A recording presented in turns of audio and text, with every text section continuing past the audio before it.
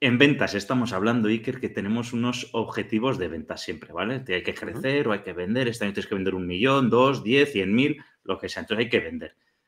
¿Qué prefieres? ¿Llegar al objetivo de ventas a costa de forzar ciertas ventas eh, a ciertos clientes que igual quiero o no quiero?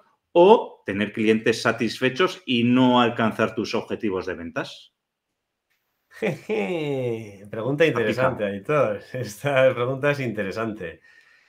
Pues si tengo que elegir o una o la otra, o sea, si no puedo conseguir ambas porque creo que no es posible llegar al objetivo y mantener a todos contentos, y tengo que elegir una de las dos, prefiero mantener a mis clientes contentos.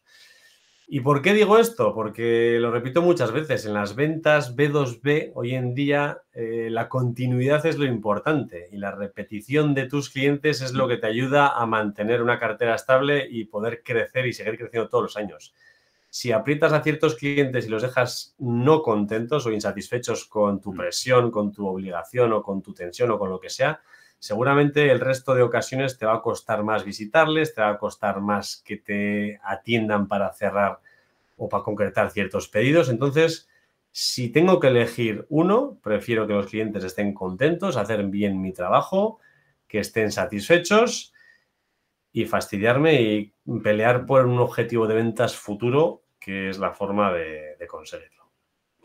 Totalmente de acuerdo, Iker, contigo, sobre todo cuando los clientes tienen que ser recurrentes. ¿eh? Muchas gracias por tus consejos y tendencieros. Ya sabéis que si queréis aumentar las ventas de manera sostenible sin tener que reducir precios y márgenes, no dudéis en contactar con Iker. ¿eh? los puede ayudar de dos formas diferentes formando vuestro equipo de ventas o mediante consultoría para optimizar vuestro departamento de ventas.